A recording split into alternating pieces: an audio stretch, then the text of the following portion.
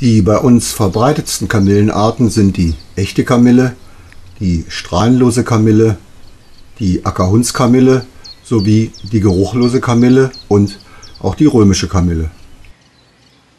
Obwohl sie alle den Namen Kamille tragen, gehören sie vielfach doch zu unterschiedlichen Gattungen. So zählt man botanisch die Echte und die Strahlenlose Kamille zur botanischen Gattung Matricaria, die Ackerhundskamille zur Gattung Anthemis die geruchlose Kamille zur Gattung Tripleurospermum und die Römische Kamille zählt mittlerweile zur Gattung Tanacetum, zu der übrigens auch der Rheinfarn gehört. Diese Pflanzen sehen sich alle sehr ähnlich, daher wurden sie mit Volksnamen eben einfach als Kamillen bezeichnet. Der Botaniker sieht das aber anders, weil es eben botanisch deutliche Unterschiede gibt, die eine Einordnung in eine einzige Gattung nicht gestattet Bevor wir zur echten Kamille kommen, zeige ich euch vier andere Arten. Die römische Kamille wird auch Mutterkraut genannt. Sie hat Heilwirkung bei Frauenleiden und man verwendete sie früher als Abtreibungsmittel. Sie ist auch leicht giftig. Bei Berührung kann es zu Allergien kommen. Das zerkleinerte Kraut kann man zur Insektenvernichtung verwenden, die in der Pflanze enthaltenen Pyretrine wirken als Kontaktgift die Römische Kamille duftet aromatisch und stammt ursprünglich aus Südosteuropa. Heute ist sie in Europa, in Nordamerika und sogar in Australien zu finden. Die Ackerhundskamille ist ziemlich häufig. Sie zeigt eine Übersäuerung des Bodens an und wächst an Wegen und Ackerrändern. Sie riecht kaum, im Gegensatz zur echten Kamille, mit der man sie leicht verwechseln kann. Auch die geruchlose Kamille ist mit der echten Kamille leicht zu verwechseln.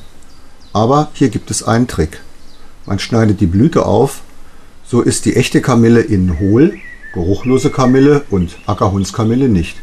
Die geruchlose Kamille riecht auch nicht, wie der Name schon sagt. Diese Art, man nennt sie übrigens auch falsche Kamille, wächst auf Schuttplätzen, an Straßenrändern und auf Äckern, wo sie oft starke Verbreitung findet. Sie benötigt nährstoffreiche, aber kalkarme Böden. Die strahlenlose Kamille besitzt keine Zungenblüten wie der Name schon sagt, riecht aber aromatisch. Ursprünglich stammt sie aus Nordostasien und Nordamerika.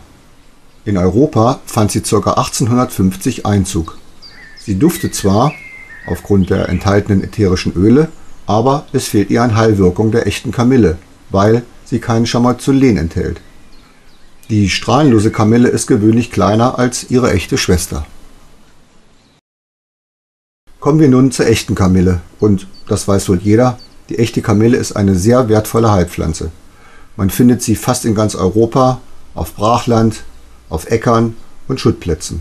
Die Blütezeit ist Mai bis August. Die echte Kamille ist einjährig.